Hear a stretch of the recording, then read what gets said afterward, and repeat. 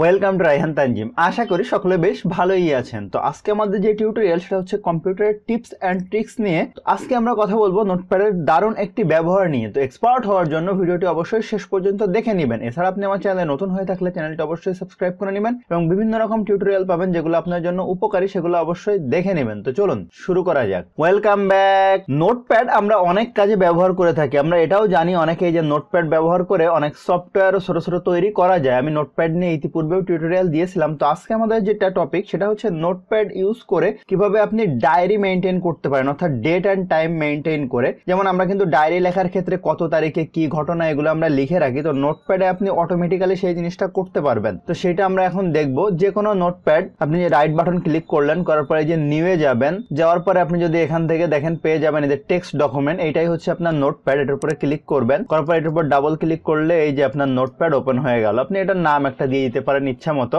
এখন কথা হচ্ছে যে আপনি এটাকে আসলে ডায়েরি হিসাবে কীভাবে ব্যবহার করবেন। আমরা প্রয়োজনে অপ্রয়োজনে অনেক সময় এখানে কিন্তু অনেক কিছু লিখে রাখি নোটপ্যাডে। বিভিন্ন কাজে দেখেন আমারও অনেকগুলো নোটপ্যাড তৈরি করা আছে। আমি বিভিন্ন কাজে এগুলো ব্যবহার করে থাকি। তো এখন ধরুন আমি এই নোটপ্যাডটা কোনো একটা কাজে, ধরুন যে আজকে ডেট টাইম দিয়ে আমি একটা মেসেজ এখানে লিখে রাখতে চাচ্ছি। যেমন আমি লিখতে চাচ্ছি যে, তুমি কেমন আছো? আমি এটা জাস্ট লিখলাম। অথবা হাউ আর ইউ আমি চাইলে ম্যানুয়ালি এখানে ডেট অ্যান্ড টাইম বসাইতে পারি, কিন্তু আমরা সেটা করব না। আমরা একবার ছোট্ট একটি কোডিং ইউজ করব, যেটা করলে পরবর্তীতে আর আপনাকে এটা বারবার ডেট অ্যান্ড টাইম দিতে হবে না। সেটা হচ্ছে আপনি এখানে দিবেন ডট দেওয়ার পরে এল ও জি বড় হাতের লগ এখন আপনি এটা ফাইল থেকে সেভ করে দিলেন। দেওয়ার পর আপনি যদি এটা এখন কেটে বের হয়ে যান, আমি এটার উপর ডাবল ক্লিক করলাম, তো দেখেন এই যে লগ তুমি কেমন আছো? হাউ আর ইউ এটা সাতটা ছেচল্লিশে, আঠাশে ডিসেম্বর দুই হাজার উনিশ। আমার সিস্টেমে যে টাইম এই যে দেখেন এখান থেকে নিয়ে নিয়েছে। এখন যদি আমি এখানে আবার কিছু লিখি যে আমি ভালো থাকব, এটা লিখে দিলাম। দেওয়ার পরে আমি যদি এটা এখান থেকে